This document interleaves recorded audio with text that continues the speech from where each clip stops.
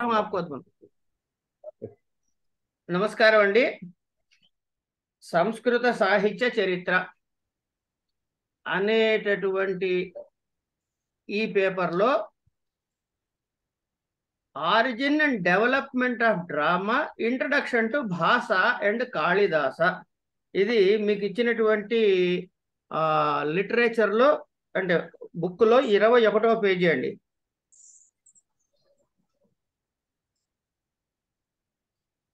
ఇక్కడ మనం ఫస్ట్ గుర్తుపెట్టుకోవాల్సింది ఏంటంటే భరతుడి నాట్య శాస్త్రంతో ఇది ప్రారంభమైంది సంస్కృత రూపకాలు ప్రారంభమైనాయి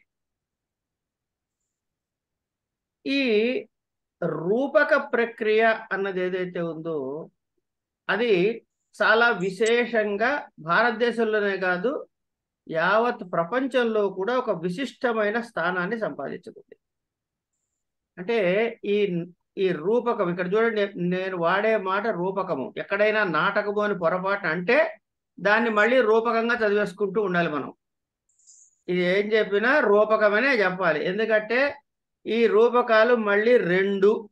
ఇదే రూపకాన్ని కావ్యం అంటారు. ఏం కావ్యం అంటారు? దృశ్య కావ్యము శ్రవ్య కావ్యము అని రెండు రకాలుగా చెబుతారు ఇది ఈ రూపక కళకి నాట్యము అనే పేరు కూడా ఉంది. అంటే రూపకాలంటే ఏమిటి అంటే ప్రదర్శన యోగ్యమైనటువంటి కళ. ఇది దృశ్య కావ్యము శ్రవ్య కావ్యము అని రెండు రకాలు. ఇప్పుడు దృశ్య కావ్యం అనుకోండి ఒక రంగస్థలం మీద కొంతమంది నటులు ఆ నాటకాన్ని ప్రదర్శించేందుకు అవకాశం ఉన్నది. శ్రవ్య రూపకం అంటే రూపకం ఏమైంది? కొన్ని పాత్రలు ఉంటాయి. ఆ పాత్రలు మాట్లాడుతూ ఉంటాయి. ఆ పాత్రల ద్వారా కథాగమనం జరుగుతూ ఉంటుంది. మిగతావన్నీ పక్కకు పెడితే రంగస్థలం మీద నటించదగ్గదయ్యుండి కొన్ని పాత్రల యొక్క ప్రవేశము నిర్గమముల ద్వారా కథాగమనం నడిచి ఉండేది దృశ్య కావ్యం. కొన్ని ఏమాత్రం కూడా రంగస్థలం మీద ప్రదర్శించేది కుదరదు. కానీ డైలాగులే ఉంటాయి. అంటే నాట ఈ మిగతా రూపక ప్రక్రియ అంతా ఉంటుంది. కానీ దృశ్యానికి మాత్రం మనకి రాదు అది శ్రావ్య నాటకం అన్నారు. ఇప్పుడు మనకి రేడియోలో అనేకమైన నాటకాలు విన్నాం మనం. అవన్నీ ప్రదర్శించగలవంటే ప్రదర్శించలేరు. కారణాలు అనేకం కాదు కానీ రెండు రకాలైనటువంటి చేశారు అని మాత్రం గుర్తుపెట్టుకోవాలి. ఈ దృశ్య కావ్యాల్లో ఏమవుతుంది? రామాది పాత్రలు ప్రవేశించి వాళ్ళ అభినయం ద్వారా ఈ ప్రేక్షకులని ఆకట్టుకుని వారికి మనం ఇంతకుముందు చదువుకున్నాం కదా రసాధ్యాయంలో అట్లా ఆ స్థాయి భావాల వల్ల వాళ్ళ హావభావాల వల్ల ఒక రసోత్పత్తి జరిగి వాళ్ళకి ఆనందాన్ని కలిగించటం ఒకటే కాకుండా జ్ఞానప్రదాయకమైనవి కూడా విజ్ఞానాన్ని కూడా కలగజేస్తాయి. ఇవన్నీ ఎక్కడవుతాయి? నటుడి యొక్క నటన కౌశల్యం చేత. ఆ విధంగా వాడి నటనా కౌశలం చేత ప్రేక్షకుడి యొక్క హృదయంలో ఒక రసోత్పత్తి జరుగుతుంది. అయితే సంస్కృత రూపక ప్రక్రియలో మాత్రం ఎప్పుడు ప్రారంభమైందయ్యా అని ప్రశ్న వేసుకుంటే దాని మీద విశేషమైన చర్చ ఉంది. ఫలానా ఫలానా ఫలానా ఫలానా ఫలానా అని. వీటన్నిటినీ మనం ప్రస్తుతానికి వెళ్ళక్కర్లేదు. అయితే భరతుని నాట్యశాస్త్రము అతి ప్రాచీనమైనది అనే దానిలో మాత్రం ఎవరికి ఎటువంటి భిన్నాభిప్రాయాలు లేవు. ఇక భరతుడి నాట్యశాస్త్రంలో మనకి ప్రధానంగా ఏం చెబుతాడంటే నాలుగు వేదాల నుంచి కూడా బ్రహ్మ యొక్క ఉపదేశము వల్ల నాలుగు వేదాల నుంచి కూడా అంటే ఋగ్వేదము నుంచి నాట్యాన్ని సామవేదం నుంచి గానాన్ని యజుర్వేదం నుంచి అభినయాన్ని అధర్వవేదం నుంచి రసాన్ని గ్రహించి ఈ పంచమ వేదమైన నాట్యము అనే నాట్యశాస్త్రాన్ని సృజించాను అని మనకి భరతుని నాట్యశాస్త్రంలో కనపడుతుంది. ఇక వీటిలో కొన్ని వృత్తులు ఉంటాయి ఇవన్నీ మళ్ళీ ఇప్పుడు నేను చెప్పక్కర్లే. కారణం ఏంటంటే మనం ఆ భరతుడి నాట్యశాస్త్రం చదువుకున్నప్పుడు ఇవన్నీ ఇంట్రడక్షన్లో చెప్పుకున్నాం. అవే ఇక్కడ మళ్ళీ మనం ఉపయోగించుకోవచ్చు. ఏమిటవి? కైశికీ వృత్తి తర్వాత భారతీ వృత్తి సాత్వతి వృత్తి ఆర్భటి వృత్తి అవి ఎప్పుడు వస్తాయి ఏమిటి? ఇట్లా తర్వాత విశ్వకర్మ నాట్య గృహాన్ని నిర్మించాడని ఆ నాట్య గృహం ఎన్ని రకాలుగా ఉండాలో ఆ రకాలు తర్వాత ఆ నాటకం ప్రారంభ నాటకం అనగా రూపకం మళ్ళీ రూపక ప్రారంభానికి ముందు చేసేదాన్ని పూర్వ రంగము అంటారని తర్వాత నాంది ప్రస్తావనలు ఉంటాయని ఆ ఏ ఏ బోలల్లో ఏ ఏ దేవతల్ని ఆవాహన చేయాలి ఏ విధంగా ఆ పూర్వరంగం నడిపించాలి అనే విషయం మీద కూడా చాలా విశేషమైనటువంటి విస్తారమైనటువంటి అంశాలు మనకి నాట్యశాస్త్రంలో చెప్పబడ్డాయి. ఇది అయిన తర్వాత ఒక ధర్మాన్ని నిలబెట్టడానికి కానీ లేకపోతే ఒక లౌకికమైన విషయాన్ని చెప్పటానికి కానీ లేదా ముఖ్యమైన ఇతర అంశాలని చెప్పడానికి కానీ సిద్ధాంతాన్ని చెప్పడానికి కానీ ఈ రూపక కళ అనేది చాలా ప్రధానమైన పాత్ర. అసలు ఒక విధంగా దానికోసమే ఇది ఉద్భవించింది కూడా చెప్పుకోవచ్చు. ఇందులో ముఖాభినయనం ముఖాభినయం. ఈ ముఖంతో రకరకాలైనటువంటి అభినయాలు చేస్తారు. అంటే అప్పుడు వాడు మాట ఉండదు. కేవలం ముఖ కవళికలు కనుబొమ్మలు మీరు ఎప్పుడైనా కథకళి చూసినట్లయితే ఎక్కడైనా ఒక డైలాగ్ విన్నారా? వినరు. కానీ మ్యూజిక్ వాడి కళ్ళు చేతులు కదలికలతోటే కదలికలతోటే కదలికలతోటే మ్యూట్ చేశానండి. ఆ కదలికలతోటే మనకి కథాగమనం క- అర్థమవుతుంది. ఈ తర్వాత తోలుబొమ్మలాట్లు కొన్ని వచ్చాయి ఇవన్నీ మీకు సిలబస్లో ఉండడం కానీ ఒక మా- ఒక ఉదాహరణ తెలుసుకోవడం మంచిది కాబట్టి చెప్పు. తోలుబొమ్మలాట్లు ఇది కూడా రూపకంలోకి వస్తుంది. తర్వాత ఈ వేళ్ళు అవి కదిలిస్తూ మనకి బొమ్మలు చూపిస్తాడు గోడ మీద. ఈ మధ్య మిలే సురుమేరా సుమా తుమార్ అనే పాటకు అద్భుతమైనటువంటి వేళ్ళ ప్రదర్శనతో ఒక వీడియో వచ్చేది మనకి సర్క్యులేట్ అయ్యేది బాగా. ఇవి. ఇది అయిన తర్వాత కొంతమంది వాళ్ళ వాళ్ళ పా- వాళ్ళ వృత్తి ఏమిటంటే అలా సంచారం చేస్తూ చేస్తూ వాళ్ళు చేసుకున్న ఆ స్కిట్ ఏదైతే ఉందో అది ప్రదర్శించుకుంటూ వెళ్ళిపోవడమే. మీరు గమనించినట్టయితే మనకి ఫ్యామిలీ ప్లానింగ్ వచ్చినప్పుడు కొత్తల్లో దాని మీద విశేషమైన ప్రచారం కోసమని ఇట్లా ఈ కళాకారుల్ని వినియోగించుకుంది ప్రభుత్వం ఇప్పుడు ఇట్లా అనేకమైనటువంటి వ్యవహారాలు ఉన్నాయి అయితే నాటకాల మీద ప్రభావం ఏది పడుతుందయ్యా అంటే మనకి ఇతిహాసాల ప్రభావము నాటక అదే రూపక రచనల మీద విశేషమైన ప్రభావాన్ని చూపించింది. అంటే అందులోంచి మొత్తం కథాంశం కానీ కొంత కథాభాగాన్ని కానీ ఒక అంశాన్ని తీసుకుని దాన్ని విస్తృతపరచడం కానీ అనేక విధాలుగా మనం గమనిస్తాం. మీరు మనం గత సంవత్సరం చదువుకున్న దానిలో చూసినట్లయితే మీకు ఉత్తర రామచరిత్ర రామాయణంలో ఒక భాగాన్ని తీసుకుని చెప్పారు. ఎక్కడి నుంచి ఎక్కడి దాకా వెళ్ళేది? కథ వేరే విషయం అది. ఉత్తర రామచరిత్ర రామాయణం కదా కథాధారం దానికి? అట్లాగే నలచెంపు. మహాభారతం నుంచి ఒక కథ తీసుకుని దాని నుంచి విస్తరించి ఆ నలచెంపు అనే గ్రంథం ఉంది. ఇవన్నీ కూడాను ప్రదర్శన యోగ్యమేగా కనుక ఈ విధంగా మనకి అనేకమైనటువంటి వచ్చాయి. ఇక ఇక రస సృష్టి జరుగుతుంది అని చెప్పుకున్నాం కదా. ఈ రస సృష్టి అంటే ఏమిటయ్యా అంటే రసై శృంగార కరుణ హాస్య రౌద్ర భయానకై వీరాదిభి వీరాది భీర భి- వీరాదిభి రసౌ యుక్తం కావ్యమేతత్ గాయతాం అని మనకి నాటకంలో ప్రధానంగా ఒకసారి ఏవే ఉన్నాయి అనే విషయాలు కనబడతాయి అట్లాగే ఈ నాటక ప్రక్రియలో కొన్ని పారిభాషిక పదాలు ఉంటాయి. ఆ పారిభాషిక పదాలు కూడా మనకి సూత్రధారుడు అంటే ఎవడు? వాడి పాత్ర ఏమిటి? ఆ సూత్రధారుడు ఏం చేస్తాడు? ఈ నాంది చెప్పేవాడు ఎవడు? తర్వాత నాటకం అంటే ఏమిటి? నటన అంటే ఏమిటి? నాట్యం అంటే ఏమిటి? వీటి కూడా తేడాలు ఏమిటి? తర్వాత దశ రకాలైన రూపకాలు ఉన్నాయని చెప్పుకున్నాం కదా వస్తాయి. మరి మళ్ళీ వస్తాయి. దశ రూపకాలు చదువుకుంటాము. నాటకము ప్రహసనము డిమము ఈహ మృగము డి వీధి ఇట్లా అనేకమైన పేర్లు ఉన్నాయి ఈ పది రకాల పేర్లు. ఈ పది రకాల పేర్లను విలక్షణత ఏమిటి? ఇలా మనకి ప్రధానమైన విషయాలు కనపడతాయి.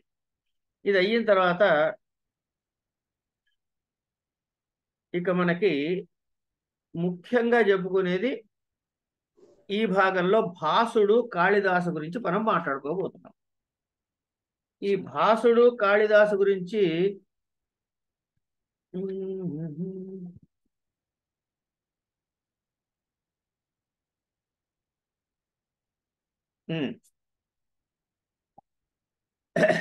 భాసుడు గురించి ఏమేం చెప్పారు? అంటే భాస నాటక చక్రము అనేటటువంటిది ముందు మనం పట్టుకోవాలి. వీటన్నిటినీ కలిపి పదమూడు నాటకాలు త్రయోదశం. ఇవి హాస నాటక చక్రము అంటారు. ఇది చాలా కాలం దొరకలేదండి. ఈ భాష నాటక చక్రము అన్నది చాలా కాలము దొరకలేదు. ఎప్పుడు దొరికిందయ్యా? అంటే త్రివేంద్రంలో మహామహోపాధ్యాయ టి. గణపతి శాస్త్రి గారు అని ఒక మహానుభావుడు ఉన్నాడు. ఆ మహానుభావుడు ఈ పదమూడు లిఖిత పూర్వకమైనటువంటి మ్యానుస్క్రిప్ట్స్ పట్టుకున్నాడు. అలా ఎప్పుడిది? ఈ పదమూడు ఎప్పుడు దొరికాయి? పంతొమ్మిది వందల తొమ్మిదో సంవత్సర ప్రాంతంలో దొరికాయి. అలా మనకి భాష నాటక చక్రం దొరికింది. భాష నాటకాలు మనకి దొరికాయి. లేకపోతే తెలిసేవి కావు. ఇవేమిటది? అంటే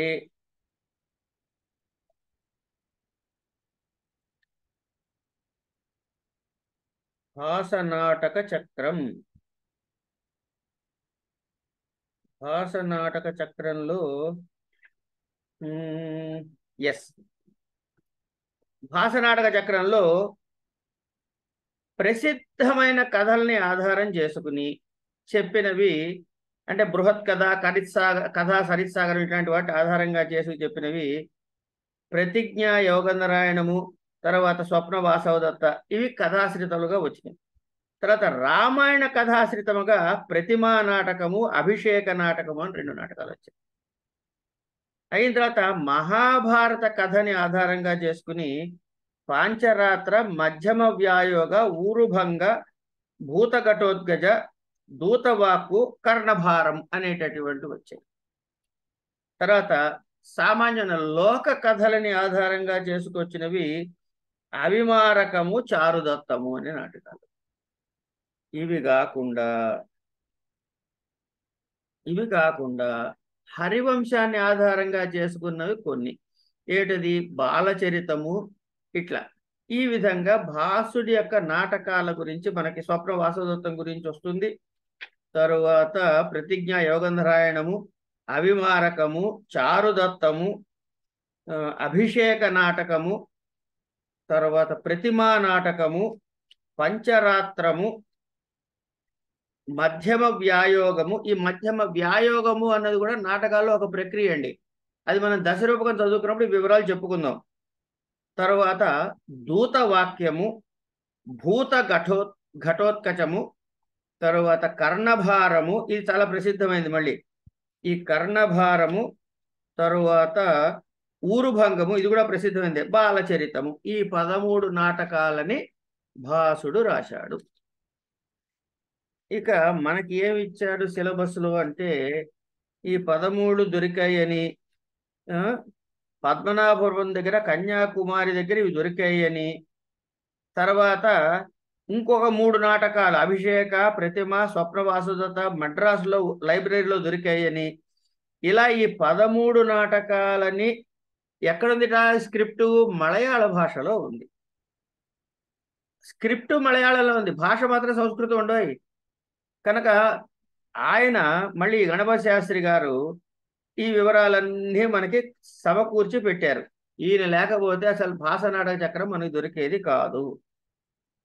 కనుక ఇవి ఇప్పుడు దొరికిన పంతొమ్మిది తొమ్మిదో సంవత్సరంలో దొరికిన భాసుడు కాళిదాసు కన్నా పూర్వకవి అనేటటువంటి ఒక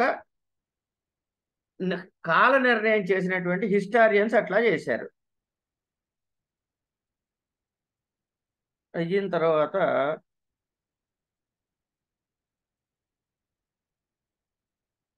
ఈ పదమూడు నాటకాలు ఈయనే రాశాడా? ఈయన రాయలేదేమో అనేటటువంటి ఒక వాదన కూడా ఉంది. అయినా సర్వే సర్వత్ర సర్వసాధారణంగా ఒప్పుకునేది అంటే ఈ పదమూడు నాటకాలు కూడా భాసుడు రాశాడనే. అందుకని చాలా మంది చరిత్రకారులు ఈ పదమూడు నాటకాలని కూడా వాటి శైలి వాటి రచనా విధానము వాటిలో వాడిన పదప్రయోగాలు ఇట్లాంటి అంశాలని కొన్ని పెట్టుకుని తద్వారా ఆ కాల నిర్ణయాన్ని ఆ రచయిత నిర్ణయాన్ని చేశారు. సూత్రధారకృతారంభై నాటకై బహుభూమికై సపతాకై సపక సపతాకైర్యశోలేభే भासो देवकुलं तत् यथा सुविभक्त मुखाद्यङ्कैः व्यक्तलक्षणवृत्तिभिः परेतोऽपि स्थितो भासः।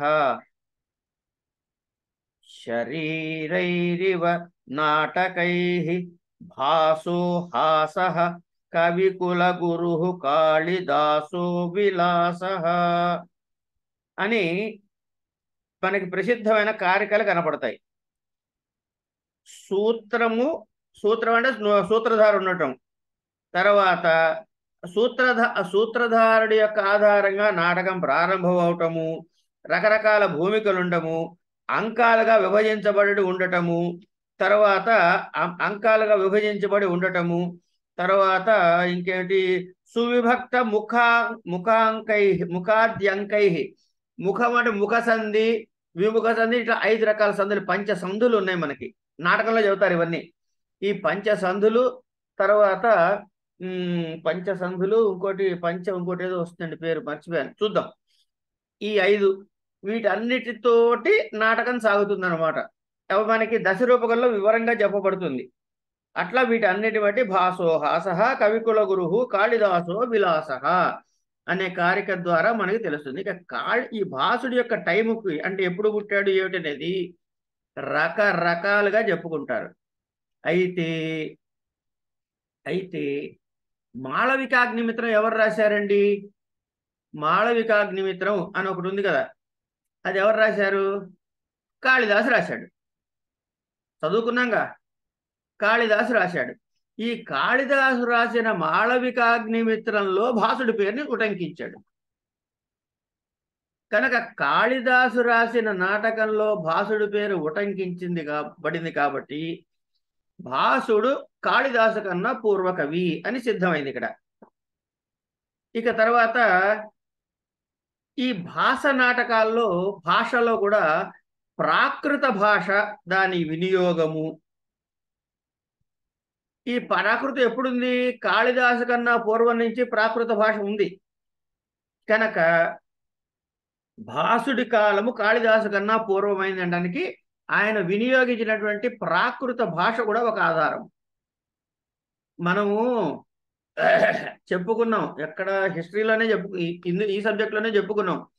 కొన్ని కిలోమీటర్లు దాటితే భాష మారిపోతూ ఉంటుంది కొంతకాలం దాటిపోతే భాష మారిపోతూ ఉంటుంది. కొన్ని కొంత పీరియడ్ దాటితే ఆ పద ప్రయోగాలు ఆ సెంటెన్స్ స్ట్రక్చర్స్ కూడా మారిపోతూ ఉంటాయి. ఇది ఆ భాషా శాస్త్రజ్ఞులు చెప్పే విషయం. కనుక అవన్నీ ఆధారంగా చేసుకుని భాసుడు కాళిదాసు కన్నా పూర్వకవి అని నిర్ణయం చేశారు. తర్వాత అశ్వఘోషుడు అని తర్వాత ఒక ఉన్నాడండి. ఈ అశ్వఘోషుడి యొక్క బుద్ధ చరితం అనేటటువంటి దానిలో భాసుడి ప్రతిమా నాటకం యొక్క వివరాలు ఉంటాయి అలాగే ఎవరెవరెవరు ఏ ఏటువంటి శాస్త్రకారులు ఎలా భాసుడు కాళిదాసు కన్నా పూర్వ కవి నిర్ధారణ చేశారనేది మనకి చెబుతూ భాసుడు కౌటిల్యుడి కన్నా ముందువాడు అన్నారు. అర్థశాస్త్రం రాసిన కౌటిల్యుడి కన్నా ముందువాడు అని ఆయన మూడు వందలు క్రీస్తు పూర్వం మూడు వందల సంవత్సరాల ప్రాంతంలో ఉన్నవాడు అని నిర్ణయం చేశారు. ఈ పదమూడు నాటకాల పేర్లు మనం ఇప్పుడే చెప్పుకున్నాం కదా. స్వప్న వాసవదత్తము ప్రతిజ్ఞ యోగంధరాయము తర్వాత చారుదత్తము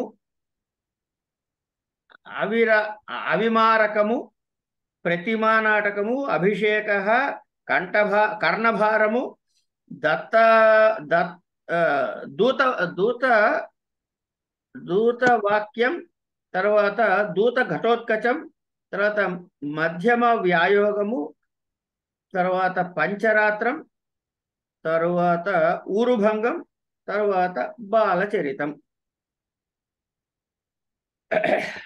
ఈ మొదటి రెండు నాటకాలు ఏవైతే చెప్పారో అంటే ఏమిటవి రెండు? ఆ స్వప్న వాసవదత్తము తరువాత ప్రతిజ్ఞ యోగంధరాయం. ఇవి రెండు కూడా ఉదయన మహారాజు కథాభాగాన్ని తీసుకుని వ్రాసినటువంటివి. ఇక చారుదత్తము అవిమారకము అనేవి మనకి ఈ కథలు కథలుగా చెప్పుకుంటాం కదా. అలాంటి కథలు కానీ ఏది ప్రాచీనమైనటువంటి గ్రంథ ఆధారంగా చెప్పినవి కాదు. ప్రతిమా నాటకము అభిషేకం ఏమన్నా రామాయణ ఆధారితమైనటువంటివి అని చెప్పారు. ఇక కర్ణభారము దూతవాక్యము దూత ఘటోద్గజము పంచరాత్రము మధ్యమ వ్యాయోగము ఇవన్నీ కూడాను వీటి కథాభాగాల్ని మహాభారతం నుంచి స్వీకరించి రాసినటువంటి నాటకాలు. ఇక చివరిగా బాలచరితము అని ఒకటి రాశాడు పదమూడో నాటకం కింద.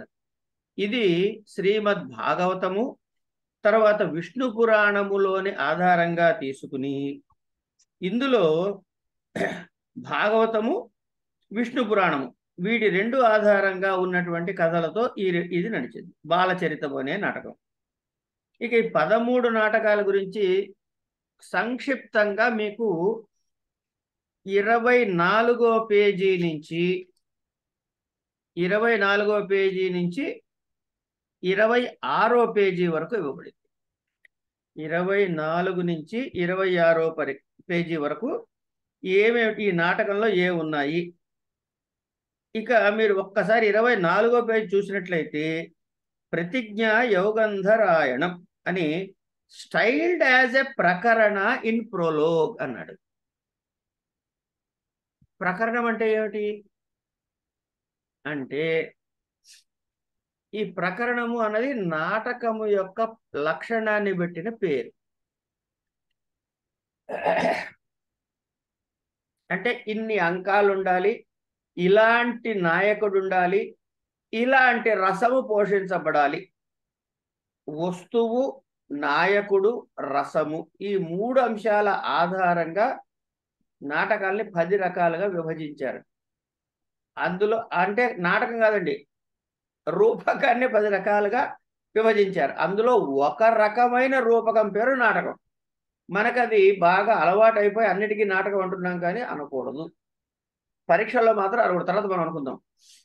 ఇట్లా దీనికి ఏం పెట్టారంటే ప్రకరణము అనేటటువంటి రూపక లక్షణాలు కలిగినటువంటిది ప్రతిజ్ఞ యోగ ఇందులో నాలుగు అంకాలు ఉన్నాయని ఇది ఎక్కడి నుంచి ఉదయన మహారాజుని బంధించడం ప్రజ్యోతుడు ఉజ్జయిన రాజు అయిన ప్రజ్యోతుడు ఉదయన మహారాజుని బంధించడము తర్వాత వాసవదత్తుతో పెళ్ళి ఇవన్నీ కూడాను యుగంధరుడు తాను చేసినటువంటి ప్రతిజ్ఞ ఈ వివరాలన్నీ కూడాను ఈ నాటకంలో మనకు ప్రదర్శించబడ్డాయి అని చెప్పారు. అట్లా మిగతా అన్ని నాటకాలకి కూడా చారుదత్తంలో నాలుగు అంకాలు ఉన్నాయని ఇట్లా ఏ ఏ నాటకాలు ఏ ఏ అంకాలు ఉన్నాయని వివరాలు చెప్పుకొచ్చారు. ఇక కాళిదాసు దగ్గరకు వచ్చేటప్పటికి కాళిదాసు మహాకవి కాళిదాసు. ఈయన నాలుగు శ్రవ్య కావ్యాలు మూడు దృశ్య కావ్యాలు రాశాడు. నాలుగు శ్రవ్య కావ్యాలు మూడు దృశ్య కావ్యాలు రాశారు. అయితే మనకి చరిత్రని ఎంత పరిశీలించి చూసినా కాళిదాసు ఎక్కడ పుట్టాడు? ఏ స్థానికి ఏ ఏ సమ సమయంలో ఆయన జన్మ జరిగింది? ఎంతకాలం బతుకున్నాడు అనే విషయాలు మనకి తెలియవు. అయితే చారిత్రకంగా చెప్పుకోవాలంటే ఇవి తెలియకపోవటం అన్నది చాలా పెద్ద దోషం. అది ఒక విధంగా దౌర్భాగ్యం అంటారు చూసారా? అది అనుకోవచ్చు. అయితే అది తెలియకపోవటం మనకి చాలా మంచిది కూడా ఒక విధంగా. తెలిస్తే తెలియకపోతే తప్పే. అది కావ్యాల్లో ఎన్- మరి ఏంటిది? ఎందుకు తెలియదు? ఆయన గురించి తెలియదు అన్నది చాలా మంచి విషయం గొప్ప విషయం కాదు. కానీ తెలియకపోవడం వల్ల భగవంతుడి దయ వల్ల మనకున్న జబ్బు ఒకటి ఉందండి. ఏమిటా జబ్బు అంటే ఏ ప్రాంతంలో పుట్టాడో చూసి వాడిని ఆ ప్రాంతానికి ముడి పెట్టేసి ఇక తర్వాత వాళ్ళు వాడిని ఒప్పుకోకుండా ఆయన్ని భ్రష్టు పట్టించకుండా మన అదృష్టానికి ఆయన జాతీయ కవిగా మిగిలిపోయాడు. అదే ఆయన ఫలానా ప్రాంతం అని తెలిస్తే ఆయన ఔత్తరాహికుడు ఆయన దక్షిణాత్యుడు ఆయన ఉత్తర ఈ తూర్పు వాడు ఆయన పడమరవాడు లేకపోతే ఆయన ఓట్ర దేశం వాడు ఆయన లేకపోతే ఇటు ఇటేదో దేశం వాడు అని ఆయనకు ఒక ముద్ర వేసి ఆయన్ని చాలా వీలు చేసి కింద దింపుండేవాళ్ళం.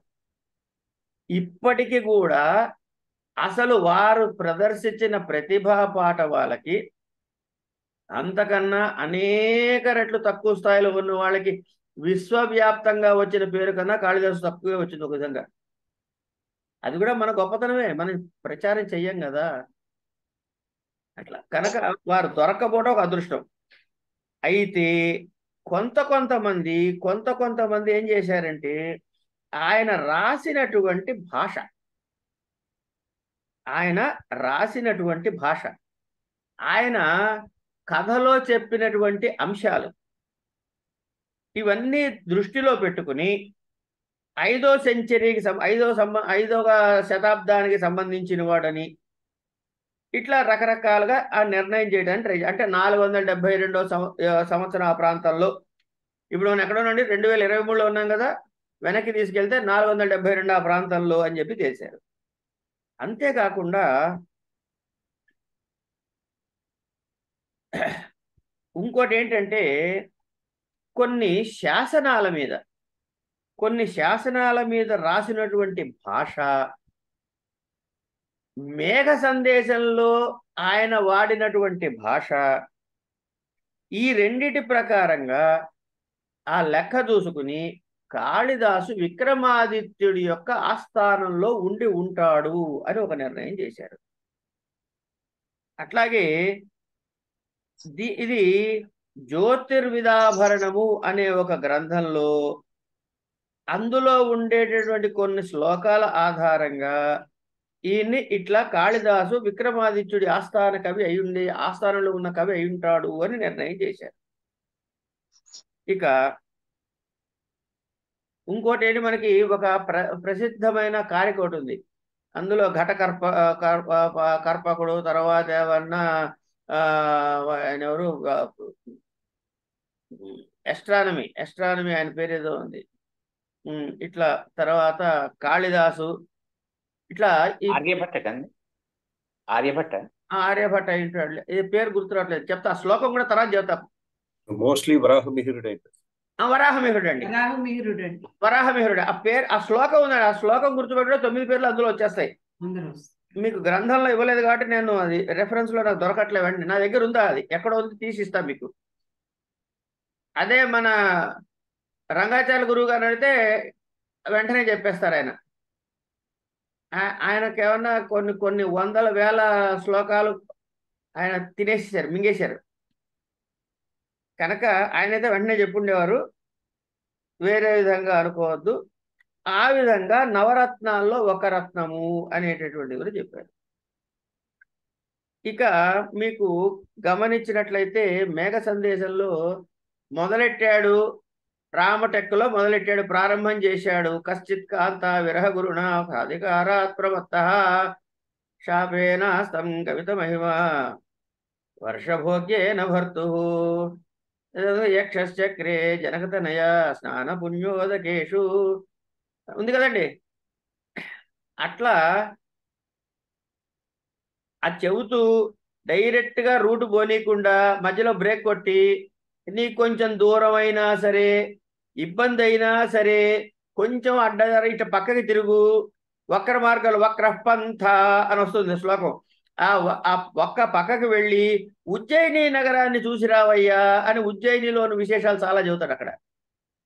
కనుక ఆయన ఉజ్జయిని ప్రాంతానికి సంబంధించిన వాడని ఒక ఒక ప్రతిపాదన. ఇట్లా అనేక రకమైన ప్రతిపాదనలు జరుగుతాయి. ఈయన మూడు నాటకాలు రాశాడు.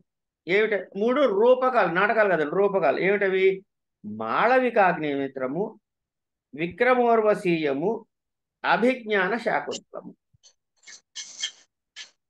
మాళవిక అగ్నిమిత్రుడు అంటే మాళవిక అగ్నిమిత్రుల యొక్క కథ. విక్రమోర్వశి అంటే విక్రమాడు ఊర్వశి యొక్క కథ. అభిజ్ఞాన శాకుంతలము. అభిజ్ఞానం అంటే గుర్తు. అది అది దాని తాలు దాని మీద కథ నడిపాడు కాబట్టి శకుంత అదొక పేరు. ఈ మూడు. ఈ మాళవిక అగ్నిమిత్రం అనేది ఐదు అంకాల నాటకం. ఇది మీరు చదువుకున్నదే. ఇక తర్వాత అగ్నిమిత్రుడు ఆయన ఏమైనా పుష్యమిత్రుడు కొడుకని ఆయన ఏమైనా శృంగ శృంగ వంశానికి చెందినవాడని ఇవన్నీ కూడా మాళవిక మీ యొక్క ప్రేమ ఘట్టాల్ని ఇందులో నడిపిస్తారు. మాళవిక ఎవరై అంటే మాళవ దేశానికి సంబంధించిన రాజకుమారి అని ఈ అగ్నిమిత్రుడు ఈయన ఇక్కడ రాజు అని ఇవన్నీ ఈ కథా భాగాన్ని అంతా తీసుకుని ఆ వివరాలన్నీ మనకి చెప్పే నాటకం నడిపించే నాటకం ఏదైతే ఉందో అదే మాళవికాగ్ని మిత్రము ఇంకోటి ఏదో చదువుదాం అనుకున్నా ఇక్కడ.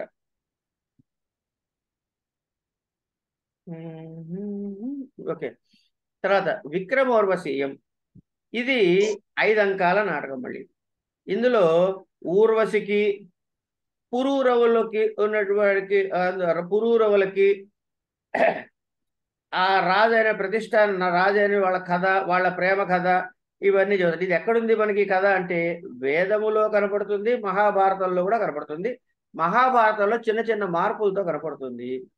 వేదంలో మాత్రం ఈ కథ ప్రధానమైన కథాభాగం అక్కడ కనపడుతుంది. ఇక అభిజ్ఞాన శాకుంతలం. ఇక్కడ అభిజ్ఞాన శాకుంతలం అనేది ఏడంకాల నాటకం. ఇక్కడ దుష్యంతుడు మహారాజు. శకుంతల అన్నదేమన్నా అందులో ఉన్నటువంటి నాయిక మహాభారత కథ. ఇక్కడ ఒక చిన్న విషయం ఏమిటంటే భారతంలో కథ చెప్పినప్పుడు దుష్యంతుడు వెళ్తాడు. మిగతా కథ అంతా బాగానే నడుస్తుంది వ్యవహారం అంతా. ఈ దుష్యంతుడు శకుంతలు ఎప్పుడైతే పిల్లవాడిని ఎత్తుకుని వస్తుందో తను రాజు గనక ఈ మిగతా అన్ని కారణాలు పెట్టుకుని ఆమెని గుర్తించనట్టుగా ప్రవర్తిస్తాడు. అక్కడ కావాలనే గుర్తించడు. అది మహాభారతంలో ఉన్న కథాభాగం. అయితే నాటకంలో ఉన్న ఈ నాయకుడు ఎవరు అంటే ధీరోదాత్తుడైన నాయకుడు. ధీరోదాత్తుడైనటువంటి నాయకుడి లక్షణాల్లో ఇలా చేయొచ్చా? చేయటానికి వీల్లేదు. కనుక నాటక లక్షణంలో ధీరోదాత్తుడికి ఉండాల్సినటువంటి లక్షణాలు ఏవైతే నిర్ణయించబడి ఉన్నాయో ధీరోదాత్తుడు ఎలా ఉండాలి? ధీర లలితుడు ఎట్లా ఉండాలి? ధీర శాంతుడు ఎట్లా ఉండాలి? ధీరోద్ధతుడు ఎట్లా ఉండాలి? ఇవన్నీ ఉన్నాయి కదా. వీటి ప్రకారంగా ధీరోదాత్త లక్షణానికి విఘాతం ఏర్పడుతుంది. అందుకని ఈయన ఒక కల్పన చేశాడు అక్కడ. ఏమిటది? ఈ శకుంతల ఈయన వచ్చి వెళ్ళిన తర్వాత ఆయన స్మరణలో ఉండిపోతే అప్పుడు అక్కడికి వచ్చినటువంటి ఋషిని గమనించకపోతే ఆ దుర్వాసుడు ఆయనకు శాపం పెడితే నువ్వు ఎవరి గురించి అయితే స్మరణతో ఉన్నావో వాడు నిన్ను మర్చిపోగాక నువ్వు శాపం పెట్టాడని కనుక ఈ శాప ప్రభావం వల్ల దుష్యంతుడు గుర్తుపట్టడు శకుంతలని అని మళ్ళీ వెళ్ళి శాప విమోచనం ఏంటంటే ఆయన నీకు ఇచ్చిన గుర్తు ఏదైనా ఆయన మళ్ళీ చూస్తే అప్పుడు మళ్ళీ గుర్తుపడతాడు అని ఒక శాప విమోచనం కూడా చెప్పాడని. ఇది ఒక కల్పన. ఇది ఒక కల్పన జరిగింది. ఈ కల్పన జరగడం ద్వారా ఏమైంది అంటే దుష్యంతుడి యొక్క క్యారెక్టర్ అసాసినేట్ కాలేదు. అంటే ధీరోదాత్తుడు అనే లక్షణానికి భంగం కలగలేదు. ఆయనల గుర్తు పట్టడానికి పట్టకపోవడానికి కారణము ఈ శాపము తప్ప ఆయన స్వచ్ఛందముగా చేసింది కాదు అని తేల్చాడు. ఇది ఆయన చేసిన ప్రధానమైన కల్పన. అందుకని ఒక అభిజ్ఞాన్ని పెట్టాడు. ఏమిటది? ఉంగరం. ఆయన చెబుతాడు దాని మీద ఇందులో ఎన్ని అక్ష ఎన్ని పే- ఎన్ని వాటిలు ఉన్నాయో అన్ని రోజుల్లో వస్తాయో చెప్తాడు కదా. అది ఆ భాగం ఆ భాగం అంతా కల్పించబడ్డం. భాగం. కనుక దీనివల్ల ఈ ముద్రిక వల్ల మొత్తం కథ అంతా మారిపోతుంది. ఇందులో ప్రేమయే ప్రధానమైనటువంటి అంశం. ఇక ఇందులో ఏం చేస్తా అంటే ప్రతి నాటకంలో కూడా మనకు కావాల్సింది ఏమిటంటే ప్రధానమైనటువంటిది ఈ నాటకంలో ఏ రసోత్పత్తి జరుగుతుంది? అంటే ప్రధానమైన రసము ఒకటి ఉండి తీరుతుందండి ప్రతిదానికి. ప్రధానమైన రసంతో పాటు దాన్ని అంగి రసము అంటారు. ఈ ఈ ప్రధానమైన రసం కాకుండా ఇతర రసాలు కూడా సందర్భానుసారంగా వస్తాయి. అవన్నీ అంగరసములు అవుతాయి. ఈ అభిజ్ఞాన శాకుంతలలో కరుణ రసం ప్రధానమైన రసం. అంగరస అంగిరసం ఏంటంటే కరుణ రసం. ఇక ఈ నాటకం ఎంత విశేషమైనదంటే ఇందులో ఏడంకాల నాటకం అని చెప్పుకున్నాం కదండి. ఈ ఏడంకాల నాటకంలో కూడా తర్వాత తర్వాతి ఆలంకారికులు ఈ నాటక ఒక విశేషాల్ని మనకి చెబుతూ అసలు నాటకాలన్నిట్లో కల్లా కూడా కావ్యాల దగ్గరికి వెళ్తారండి ముందు. కావ్యాలన్నిట్లో కల్లా కూడా నాటకము అన్నది చాలా రమ్యముగా ఉంటుంది అని చెప్పాడు. బాగుందండి? అది బాగానే ఉంది. అంటే తత్ర రమ్య శకుంతల కావ్యేషు నాటకం రమ్యం. కావ్యములయందు నాటకము చాలా బాగుంటుంది. తత్ర రమ్య శకుంతల ఈ రమ్యమైన నాటకాల్లో కూడా శకుంతల నాటకము అంటే అభిజ్ఞాన శాకుంతలం అన్నది చాలా చక్కగా ఉంటుంది గొప్పది రమ్యమైనది అని చెప్పి చెప్పాడు. అయిన తర్వాత ఏం చెప్పారు అంటే సరే ఏమండి బాగుందండి కాళిదాస్ గారు రాసిన శాకుంతల బాగుంటుందా? ఓహో! అని అనగానే వెంటనే తత్రాపిచ చ చతుర్థోంక అక్కడ కూడా నాలుగో అంకము చాలా విశిష్టమైనది అని చెప్పి చెప్పాడు. చెప్తే సరిపోయిందా అక్కడ? అంటే అబ్బే లేదండి. అంతకన్నా విశేషమైనది ఏమిటంటే అందులో ఉన్నటువంటి నాలుగు శ్లోకములు తత్ర శ్లోక చతుష్టయం అని నాలుగు శ్లోకాల్ని ప్రసిద్ధంగా తీసుకున్నారు. ప్రసిద్ధంగా తీసుకుని ఈ నాలుగు శ్లోకాలని చాలా విశేషమైనటువంటి ప్రతిపత్తిగా చెబుతారు. అందుకనే కావ్యేషు నాటకం రమ్ కావ్యేషు నాటకం రమ్యం తత్ర రమ్యా శకుంతల తత్రాపి చ చతుర్థోంక తత్ర శ్లోక చతుష్టయం. ఈ నాలుగు శ్లోకాల్ని ఎందుకు ఎన్నుకున్నారు అనేది ఒక ముఖ్యమైన విషయం అండి మనకి. ఈ శకుంతల ఎక్కడ పెరిగింది? అంటే శకుంతల ఎక్కడ పెరిగిందయ్యా అంటే కణ్వాశ్రమంలో పెరిగిందండి. కణ్వాశ్రమంలో పెరిగిన శకుంత కణ్వుడు ఎవరండి? ఒక తాపసి. కనుక ఒక తను పెంచ పెంచిన పిల్ల ఈ శకుంతల. తను కన్న పిల్ల కాదు ఒకటి. రెండు తనకి లౌకికమైన విషయాలతో సంబంధం లేదు. తన తపస్సు తన ఊర్ధ్వలో గతికి ప్రయత్నాలు చేసేటటువంటి వాడు కణుడు అయినా సరే ఒక పిల్ల ఆడపిల్ల ఇంటి అత్తవారింటికి వెళ్తుంటే తండ్రి పడే వేదన ఒక విషయాన్ని చెబుతుంది ఒక శ్లోకం. అట్లాగే ఆడపిల్ల అత్తవారింట్లో ఎలా నడుచుకోవాలి అని చెప్పే శ్లోకం ఒకటి. ఇట్లా అంటే ఈ నాలుగు శ్లోకాలలో ఉన్న సారాన్ని గనక గమనించినట్లయితే ఒక కుటుంబ వ్యవస్థ నిలబడటానికి ఎవరెవరు ఎలాంటి పాత్రలు వహించారు? తండ్రి పాత్ర ఎంతవరకు? భార్య పాత్ర ఏ విధంగా ఉంటుంది? ఇలాంటి అనేక అంశాలని ఈ నాలుగు శ్లోకాల్లో మనకి వివరిస్తారు. यास्यत्यज्जशकुन्तलेति हृदयं संसृष्टमुत्कण्ठया कण्ठस्तम्भितबाष्पवृत्तिकलुषश्चिन्ताज चिन्ताजदं दर्शनम् वैक्लव्यं ममतावदी ममत ममतावदीदृश महो स्नेहो स्नेहादरण्यौकसः పీడ్యంతే గృహిణ కథం ను తనయా విశ్లేష దుఃఖైర్నవైః అని ఒక అత్యద్భుతమైన శ్లోకాన్ని చెప్పారు. ఇవాళ శకుంతలు వెళ్తోంది. దాంతో నా మనసంతా సంక్లిష్టమైపోతుంది. ఉత్కంఠతో అయ్యో వెళ్ళిపోతుంది వెళ్ళిపోతుంది పిల్లని.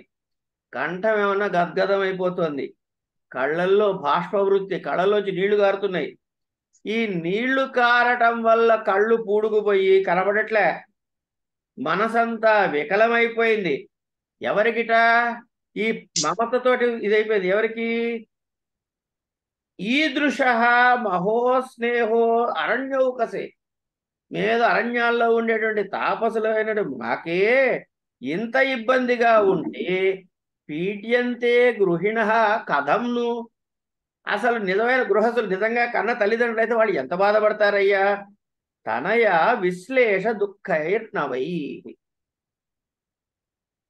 కూతురు బయటికి వెళ్ళిపోతూ విశ్లేషణ అంటే విడిపోవటము. విడిపోవటం అంటే దూరంగా వెళ్తుందని కొత్తగా పెళ్ళైన పిల్ల వెళ్తూ ఉంటే వాళ్ళు ఇంకెంత బాధపడుతుంటారయ్యా? అనే ఒక విషయాన్ని తర్వాత అత్తమ్మ వాళ్ళ ఇంట్లో ఉండాల్సిన విషయాన్ని ఇవన్నీ కూడాను వివరంగా చెప్పారు. ఇట్లా ఆయన నాటకాల్లోని విశేషాంశాలు. ఇంకోటి ఏంటంటే ఈ అభిజ్ఞాన శాకుంతలలో ఉన్నటువంటి మరొక విశేషాంశం ఏంటంటే ఇప్పుడు మనం రేపు చదువుకోబోయే దశరూపకం అని నాటకం చదువుతాం. ఒక పుస్తకం చదువుకోబోతాం త్వరలో. ఈ దశ రూపకంలో నాటక లక్షణాలు ఇచ్చారు. ఇప్పుడు ఇంతకీ ఈ కాళిదాసు రాసిన శకుంతల అన్నది ఏమిటది? అంటే నాటకము అనేటటువంటి విభాగంలోకి వస్తుంది. నాటకము అనే విభాగంలోకి వస్తే దశరూపకంలో ఏం లక్షణాలు చెప్పాడు? ఇగో ముఖ సందు ఉండాలి ఆ సందు ఉండాలి ఇది ఉండాలి ఇది ఉండాలి ఇది ఉండాలి ఇట్లా రకాలు. తర్వాత ఆ డెవలప్మెంట్ ఆఫ్ స్టోరీ ఎలా తీసుకువెళ్ళాలి? నాయకుడి పాత్ర ఎలా ఉండాలి? నాయిక ఏ విధంగా ఉండాలి? అక్కడ వాళ్ళు వినియోగించాల్సిన భాష ఏమిటి? ఇట్లా కథా వస్తువు నాయకుడు రసము ఆధారముగా చెప్పబడిన సమస్తమైనటువంటి రూల్ బుక్ అనుకోండి కాసేపు దశరూపకాన్ని దానికి లక్ష్య గ్రంథముగా కాళిదాసు శకుంతల అని చెప్పచ్చు. కూర్చుని వెతుక్కునే ఓపికంటే అన్ని ఇందులో దొరుకుతాయి. ఏది? లక్షణాలు నాటక లక్షణాలు అన్నీ కూడా ఇందులో ఉంటాయి అని ఒక విషయాన్ని ప్రధానంగా చెబుతారు. ఈ నాటకాల్లో ఉన్న విశేషం ఏంటంటే కాళిదాస్ నాటకాల్లో ఆనాటి సామాజిక పరిస్థితుల్ని కళ్ళకు కట్టినట్టు చెబుతాడు. ఇక ఉపమానాలకు వస్తే అత్యద్భుతమైన ఉపమానాలు. అసలు మీరు ఇక్కడ ఒక ఒక ఉపమానం చెబుతాడండి. ఈ శకుంతల నాటకంలోనే మనం శాకుంతలను చదువుకోలేదా? చదువుకున్నామా చదువుకోలే కదా? లేదండి. లేకుండే మాకు. రైట్. ఈ శాకుంతల నాటకంలో అండి ఒక చిన్న విషయం చెప్పి ఆపేసుకుందాం. ఈ శాకుంతల నాటకంలో దుష్యంతుడు వస్తాడు. సరే శకుంతల్ని చూస్తాడు. సరే వాళ్ళిద్దరూ వివాహం చేసుకుంటారు. అన్ని అవన్నీ నడిచిపోతాయి. కథ అంతా వదిలేయండి. ఇప్పుడు దుష్యంతుడు వెళ్ళిపోతున్నాడు. ఎక్కడికి? తన రాజ్యానికి. మళ్ళీ వస్తాను త్వరలో వచ్చి తీసుకెళ్తాను అని చెప్పి ఏదో ఉంగరం ఇస్తాడు గుర్తిస్తాడు వెళ్ళిపోతూ ఉంటాడు. ఇప్పుడు దుష్యంతుడి యొక్క మనసు ఎక్కడుంది? శకుంతల దగ్గర ఉంది. రథం ఎటు వెళ్తోంది? వాడు ఊరు వైపు వెళ్తోంది. ఏమండి? మనిషేమో ముందుకు వెళ్తున్నాడు. మనిషి శరీరం ఏమో ముందుకు వెళ్తోంది ఆయన మనసేమో వెనక్కి శకుంతల దగ్గరికి పరిగెడుతోంది. ఇది ఘట్టం. ఎంత అద్భుతమైనటువంటి ఉపానం చెబుతాడంటే అదే రథం మీద ఉన్న జెండాతో పోలుస్తాడు. రథము ముందుకు పోతూ ఉంటే గాలికి జెండా వెనక్కి ఎగురుతూ ఉంటుంది. అలాగా అంటాడు. ఇక్కడ రెండు విషయాలు. ఒకటి రథము రెండు జెండా. ఎవరిని పోలుస్తున్నాడు? దుష్యంతుడిని పోలుస్తున్నాడు. పరిగెట్టి వెనక్కి వెళ్తున్నది మనసు. శరీరము రథము కూడా సాలిడ్స్. పతాకం ఎగరటానికి రెపరెపలాడటానికి వెనక వైపు కారణం గాలి. మనసు కూడా గాలి సంబంధమైందే. అంత ఔచితీవంతమైనటువంటి పోలికలతో అందులో అద్భుతంగా చెప్పాడు. ఇట్లా సాగుతుంది ఈ నాటకాలు నాటకాల్లో అలాంటి విశేష అంశాలు చాలా ఉన్నాయి. తర్వాత ఆయన నాటకాల్లో ఉన్న ప్రధాన విషయం ఏంటంటే స్త్రీ పాత్రలు లో సహనాన్ని ప్రదర్శించడం ఎన్ని కష్టాలు వచ్చినైనా సహనాన్ని ప్రదర్శించి సుఖాన్ని చివరికి పొందుతారు అనే అంటే ఒక ఆదర్శమైన భారత స్త్రీ యొక్క లక్షణాన్ని ఆయన యొక్క కావ్యాల్లో నాటకాల్లో మనకు కనపడుతుంది. కనుక కాళిదాసు కథల్లో ప్రేమ అన్నది శారీరకమైనది కాదు. అలౌకికమైనది ప్రేమ అనేటటువంటి విషయము. సర్వే సాధారణంగా వైదర్భి వృత్తిలో ఆయన ఆ, కథలన్నీ నడుస్తూ ఉంటాయి. ఈ విధంగా కాళిదాసు యొక్క విశేషాల్ని మనకి చెప్పారు. ముఖ్యంగా గుర్తుపెట్టుకోవాల్సిన శ్లోకం కావ్యేషు నాటకం రమ్యం తత్ర రమ్య శకుంతల తత్రాపిత చతుర్థ చతుర్థోంక తత్ర శ్లోక చతుష్టయం. వీలైతే ఈ నాలుగు శ్లోకాలు బిగినింగ్ ఎండింగ్ గుర్తు మొత్తం శ్లోకం గుర్తుపెట్టుకోవాల్సిన అవసరం లేదండి. కనీసం ఆద్యక్షరాలు గుర్తుపెట్టుకోగలిగితే బాగుంటుంది లేకపోయినా పెద్ద దిగులేదు. మీకు టెక్స్ట్ బుక్లో అయితే ఏం రెఫరెన్స్ ఇవ్వలేదు వాడిది. నే- నేను ఇతరత్ర ఉన్న నోట్స్లో చూసి ఆ నాలుగు ముక్కలు చెప్పుకున్నాం కానీ మీకు టెక్స్ట్ బుక్లో చాలా సంక్షిప్తంగా ఇచ్చాడు కాళిదాసు గురించి కానీ బాసుడు గురించి కానీ. ఇవాళ మనం చెప్పుకున్నది టెక్స్ట్ బుక్ అంటే మీకు ఇచ్చిన స్టడీ నోట్స్ తప్పి కొత్త చెప్పుకున్నాం. ఈ విధంగా నాటకం అనే మహాకావ్యాలు అనే దానిలో భాసుడి గురించి కాళిదాసు గురించి చెప్పేస్తున్నాం. ఇక తర్వాత అశ్వఘోషుడు ఇత్యాది ఇతర కవుల గురించి మళ్ళీ కొంత భాగం ఉంటుంది. అది రేపు. ఇక్కడికి ఇవాళ ఆపేసుకుందాం.